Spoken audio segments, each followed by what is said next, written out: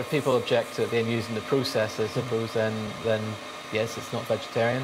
It's not in the beer at the end, but it's used in the brewing process.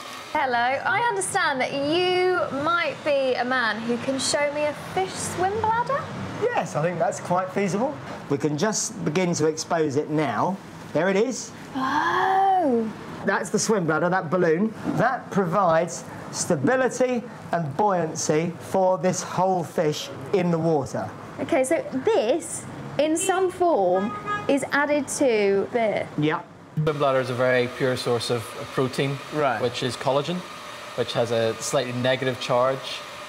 Um, and if you take all the solids that are in the beer are positively charged, it's like opposites attracting. And because it's all part of that solids again, you're removing it from the beer, so it's not Right. in the beer Right. by the time it reaches the consumer. That would fine. make beer not vegetarian.